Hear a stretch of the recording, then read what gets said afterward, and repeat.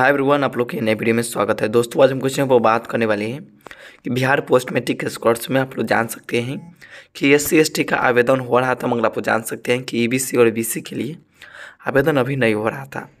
उस समय आप लोग जान सकते हैं, काफ़ी सारे लोग वीडियो पर कमेंट कर रहे हैं, काफ़ी सारे लोग परेशानी में हैं कि सर बी और ईबीसी का आवेदन होगा या नहीं होगा।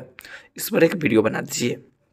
तो आप लोग जान सकते हैं, आज के वीडियो आप लोग बताएँगे ए टू जो प्रोसेस के साथ आप लोग को बताएँगे कि आप लोग जान सकते हैं कि ईबीसी और बीसी के लिए आवेदन कब से स्टार्ट होगा बिहार पोस्ट मेट्रिक स्कॉलरशिप में।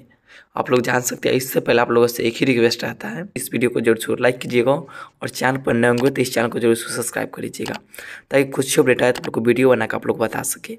आप लोग देख सकते हैं कि बिहार पोस्ट मेट्रिक स्कॉलरशिप के डैशबोर्ड पर आए हुए हैं। डैशबोर्ड पर आने के बाद आप लोग को इसको नीचे आ है। नीचे आने के बाद आप लोग देख सकते हैं कि apply for post matric scholarship academic year बाईस तेईस। इस पर आप लोगों को क्लिक करना पड़ेगा। जैसे आप इस पर क्लिक कर देते आप लोग इसको नीचे आते हैं। नीचे आने के बाद आप लोग देख सकते हैं कि यहाँ पर लिखा हुआ है, देख सकते हैं, यहाँ पर लिखा हुआ है कि S C S T student click to post matric scholarship apply के लिए। आप लोग जान सकते हैं कि सिर्फ़ अभी एस सी का आवेदन हो रहा था और आप लोग जान सकते हैं कि बी सी और ई बी सी के लिए जान जाइए से इकतीस बारह दो हज़ार बाईस तक एस सी का आवेदन का डेट है। उसके बाद आप लोग को पाँच तारीख से आप लोग को खुलेगा।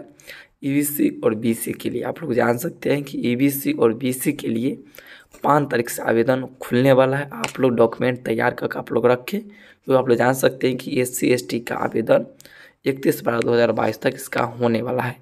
तो आप लोग जान सकते हैं और फिर आप लोग भी कमेंट कीजिएगा एस सी वाले लोग कि सर इकतीस तक आवेदन होगा तो हमको ज्वेलरी पासवर्ड नहीं आ रहा है।